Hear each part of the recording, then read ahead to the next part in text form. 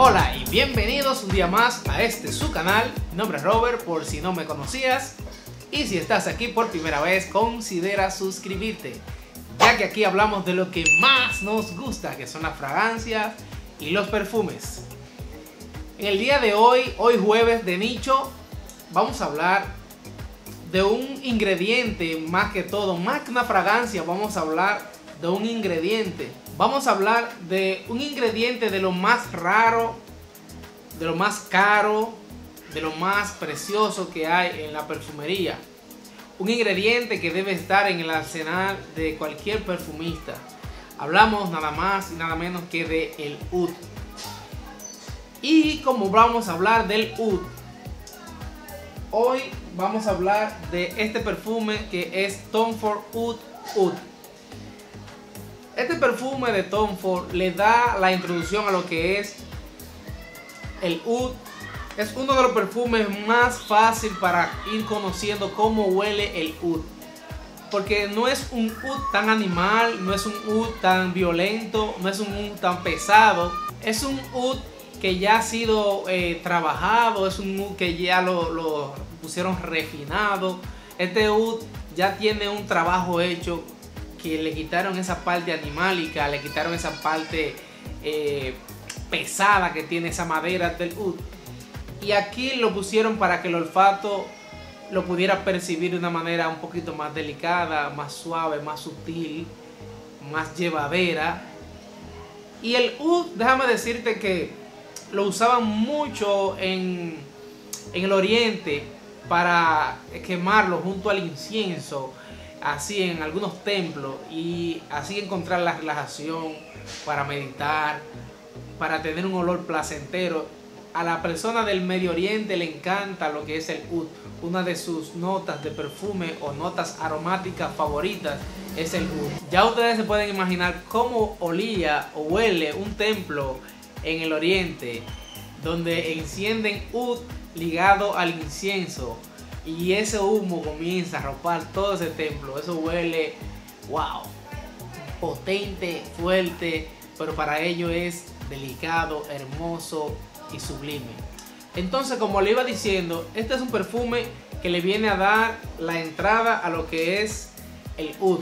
Un perfume que si nunca has, has olido madera de oud, en este perfume lo puedes encontrar más trabajado, más sutil y así puedes ir acostumbrando tu olfato a esta preciosa eh, madera. Una madera que es muy codiciada, muy querida por muchos de los perfumistas y también de los consumidores de perfume. Esta fragancia o este perfume, porque es un eau de perfume, fue lanzado en el 2007 por la nariz de Richard Herbie.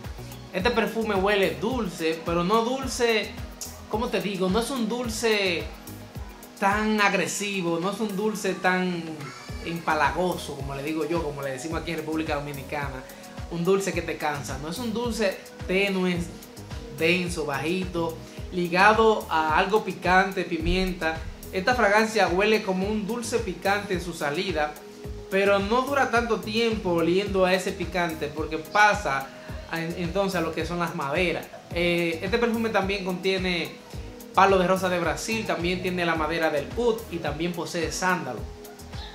Quiere decir que esto es un perfume que desde que lo percibes huele como dulce, picante, pero también huele muy maderoso, huele mucho a madera, un perfume bien amaderado, un perfume que es apto para usarlo esos hombres que les gustan vestir elegante, que les gusta vestir eh, formal. Este perfume no lo veo mucho para un jovencito de 18 años, sino para un joven ya entrando a la madurez de los 25 años en adelante, que le guste vestir formal, que tenga un trabajo de oficina. Para ese tipo de joven o, para esos adultos ya a partir de los 25 años que ya quieren ir a ser un hombre que marca su territorio, un hombre que marca, donde quiera que llega, marca una memoria olfativa con este perfume. Este perfume huele a alta gama, alta clase, un perfume que, desprende lo que es un aroma sofisticado, un aroma que te encanta, encanta a los demás, un perfume que de cerca como que tiene un olor un poco poderoso, pero su estela a los 2 3 metros de la persona. Entonces tiene un aroma eh, sutil que, que llama, que atrapa y que llama, te hace acercarte a ver de dónde que sale ese olor. Esta fragancia para mí, para mi gusto olfativo, es exquisita. Tiene muy buena longevidad, tiene una buena estela y tiene una buena proyección. La proyección va a ser un poco más del brazo extendido en las primeras horas, luego baja a un espacio como de menos de un metro, pero aún así cuando el viento o tú te mueves o caminas, entonces ese aroma comienza a salir, se siente como ya en el secado, no sé si es eh, por el sándalo, esas maderas blancas, se le siente un toque como un poco jabonoso, un jabón, eh, un jabón limpio, eh, jabonoso limpio, pero ya es en el secado después de las dos primeras horas. Esta fragancia tiene una de las notas favoritas mías, que es el cardamomo. Ese cardamomo aquí se va a sentir un poco exótico, un cardamomo elegante, exótico. En esta fragancia aquí el sándalo y el vetiver le van a dar un toque como un poco ahumadito a esta fragancia.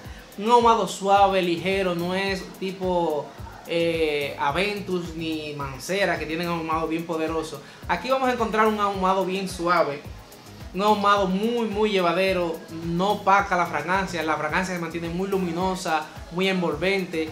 En esta fragancia eh, vamos a encontrar ese sándalo ligado al vetiver. En este perfume vamos a encontrar la calidez y la sensualidad aportada por lo que es el con la vainilla y también el ámbar.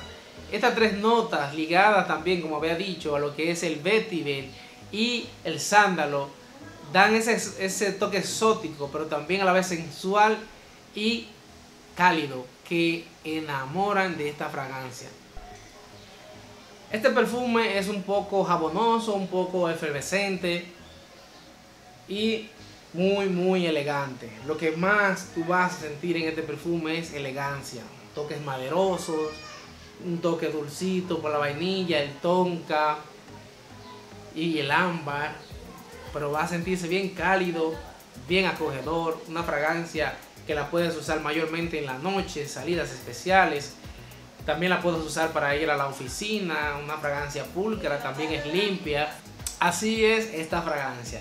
Lo único que este perfume no es un perfume que yo te pueda decir, mira, huele a, jugo de, limón.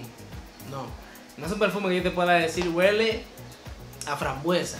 No, porque no, es, es que es un perfume que lo que va a oler es a madera, a maderas, un poco terrocito por el vértice, madera, terrocito, un poco jabonoso, limpio.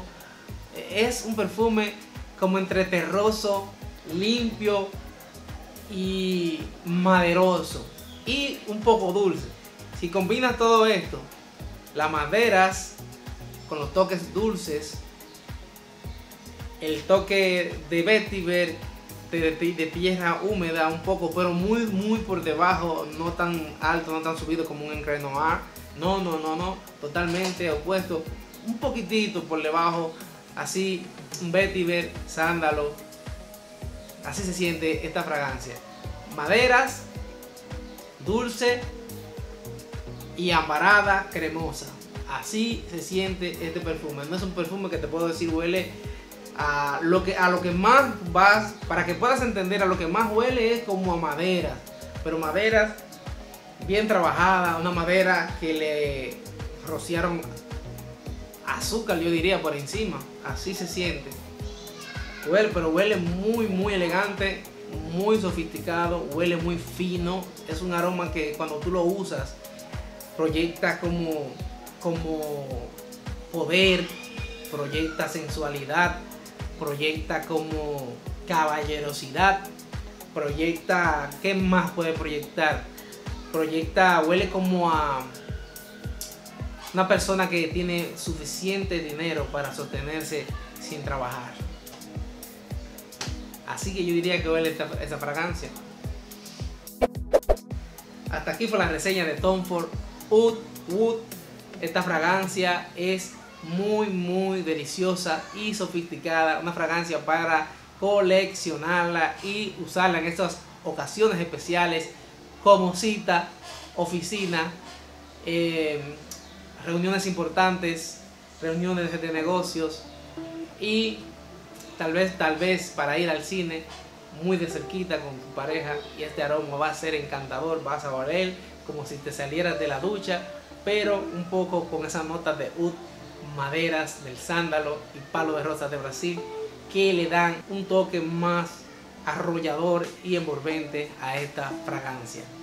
Sin más que hablar, suscríbete al canal si te gustó la reseña de hoy jueves, de hablando de esta preciosura y déjame un comentario y lo que más yo quiero que tú dejes es un tremendo like si te gustó este video y nos vemos en la próxima. Suscríbete